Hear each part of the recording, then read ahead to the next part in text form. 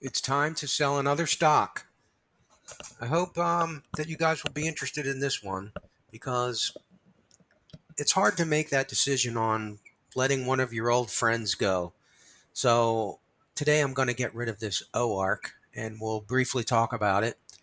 My goal is to add a little more to this Maxi. So this is one of those things where I'll probably get burned, uh, but Maxi is a Bitcoin ETF and right now it's my biggest uh, profit. You know, Bitcoin.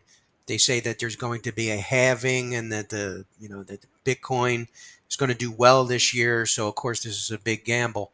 But not only does Maxi track Bitcoin, it also pays its own dividend, which is 21.23. So I'm going to get use this opportunity to get rid of a stock that is basically aggravating because it just uh, it goes down more than it goes up, and it's uh, down just a little bit today.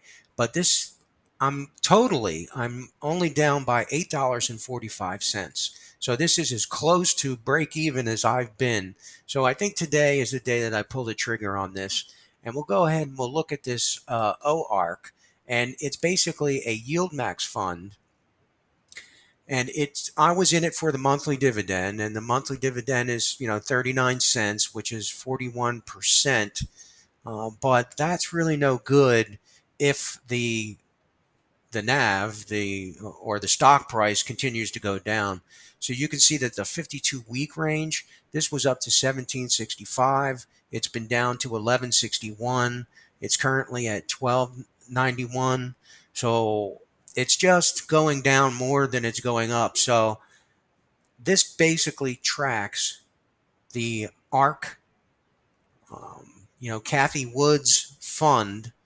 And I'm not sure how I feel about Cathie, uh, but let's take a look at the ARK fund because every time ARK goes down, this goes down. So the reason that this stock is continuing to decline is because ARK is continuing to decline. So let's take a look at the ARK fund that my OARK is tracking. And you can see that Morningstar does not like it at all. Uh, it doesn't like it now. It doesn't like it in three years. It doesn't like it in five years. And we'll talk about um, you know some of the holdings uh, in a second. But let's take a look at the OARK snapshot and oh, I'm sorry, the ARK Innovation ETF snapshot. And over the 52 week range, we've been up to 54 and we've been down to 33.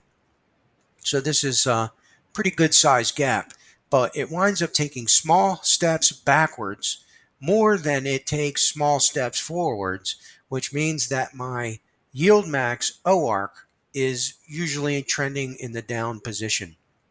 Now, this fund has been around a long time in the stock market game um, since 2014. And let's take a look at some of their holdings. They hold Coinbase, which I'm not sure why, but Coinbase is one of the most volatile stocks out there. It jumps down hard.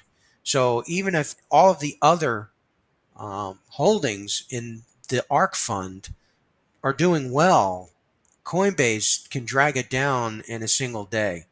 And then if Coinbase doesn't drag it down, Elon Musk will come out and say something controversial, and Tesla will go down. Also, uh, Tesla goes down very hard, uh, big uh, steps. It takes big steps down. Roku just came out with their earnings, and it was terrible. And Roku went down very hard. Zoom is not doing too well. I'm not sure about this path. Um, the saving grace here, and the reason that I have an opportunity to get out of this stock today is because Block uh, or Square, and they had good earnings. They're in the AI space. They had very good earnings, and their stock is surging today, which is pulling the ARK fund up to a point where I can get out. So you can see these other holdings, and I'm you know not really educated on these. I believe Shopify is doing pretty well, but what you wind up having is that the the, the top three uh, investments in the ARK fund the ones that are the heaviest weighted, 8.93% is quite a chunk. And Tesla is, is 8%. And Roku is also close to 8%. These are large chunks, and all three are performing very poorly. So after suffering and watching OARK go down day after day, uh, let's let me show you one other thing before I let you go. The monthly dividend was 38 cents last month. So let's take a look at the dividend history. It was 31 cents the month before, so it did bump up a little. But you can see when the fund first, when OARK first hit the ground running in 2023, it was paying 74 cents. Then it paid a dollar nine. Then it paid 76. And then it started falling 51, 36. You can see uh, it, it was down to 24. So you can see that it's it started off really well and attracted a lot of people like myself. And ever since these big payouts, we have been in, in a general decline. So that's the way that the stock market works. But you know what? I also have the freedom to say, I'm getting out. And today we're only down two cents thanks to the um, Square stock doing well.